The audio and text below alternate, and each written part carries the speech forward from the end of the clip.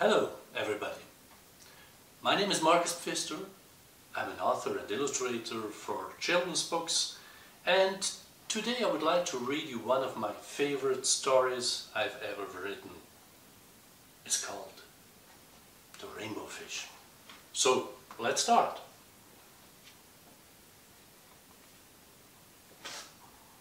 The Rainbow Fish.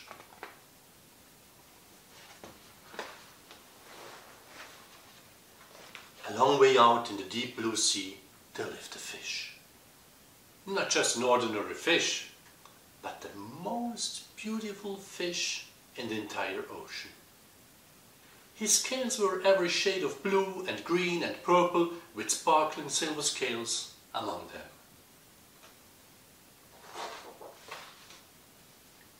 The other fish were amazed at his beauty. They called him Rainbow Fish. Come on, Rainbow Fish, they called. Come and play with us. But the Rainbow Fish would just glide past, proud and silent, letting his scales shimmer. He thought, I'm so beautiful, why should I play with the other fish?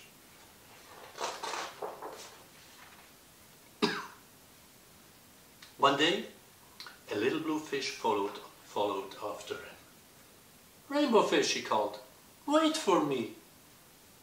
Please give me one of your shiny scales. They are so wonderful and you have so many.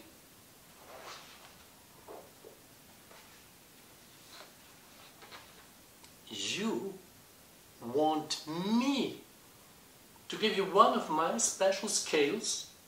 Who do you think you are? cried the rainbow fish. Get away from me! Shocked, the little blue fish swam away. He was so upset, he told all his friends what had happened. And from then on, no one would have anything to do with the rainbow fish. They turned away when he swam by.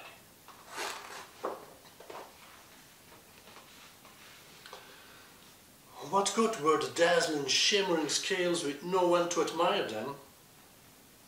Now, rainbow fish was the loneliest fish in the entire ocean. One day, he poured out his troubles to the starfish. I really am beautiful. Why doesn't anybody like me? I can't answer that for you, said the starfish. But if you go beyond the coral reef cave, you will find the wise octopus. Maybe she can help you.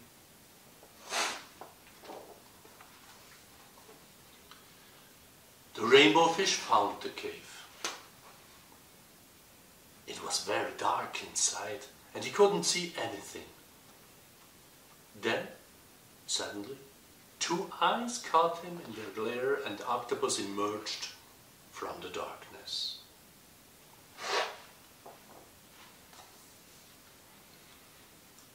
I've been waiting for you,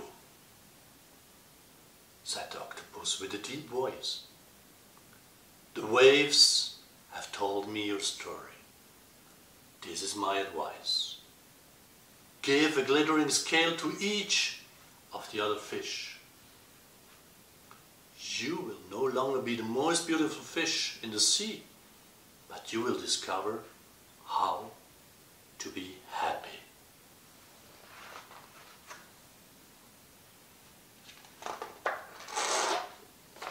I can't, the rainbow fish started to say, but the octopus had already disappeared into a dark cloud of ink.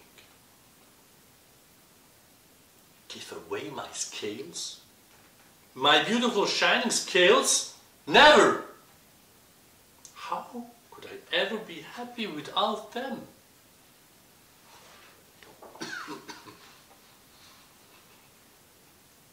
Suddenly, he felt the light touch of a fin. The little blue fish was back. Rainbow fish, please, don't be angry. I just want one little scale. The rainbow fish wavered. Only one very, very small shimmery scale. He thought, well, hmm, maybe I wouldn't miss just one.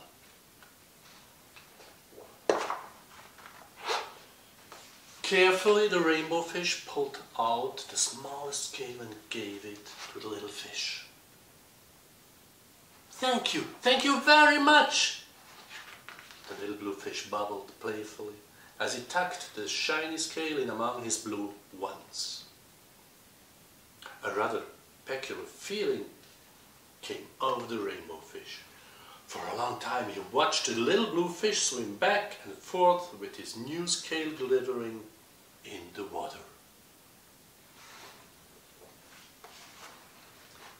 The little blue fish whizzed through the ocean with his scale flashing, so it didn't take long before the rainbow fish was surrounded by the other fish. And everyone wanted the glittering scale. The rainbow fish shared his scales left and right, and the more he gave away, the more delighted he became. When the water around him filled with glimmering scales, he at last felt at home among the other fish. Finally, the rainbow fish had only one shining scale left. His most prized possessions had been given away, yet he was very happy. Come on, rainbow fish, they called. Come, and play with us. Here I come, said the rainbow fish, and happy as a splash, he swam off to join his friends. Yes, this was the story of rainbow fish, and you see, it's not that important how you look and how you dress. It's much more important what you feel what you do. So, keep on reading and have fun. Thanks.